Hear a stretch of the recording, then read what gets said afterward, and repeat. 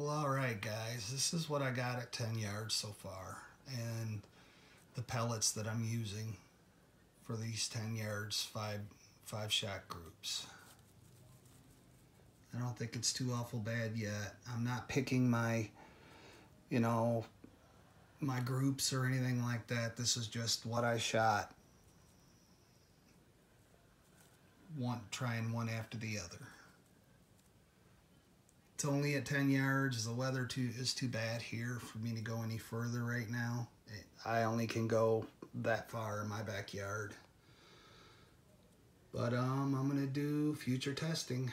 I'm really itching to see what happens when I stretch the legs on my Seneca Aspen. All right, thank you.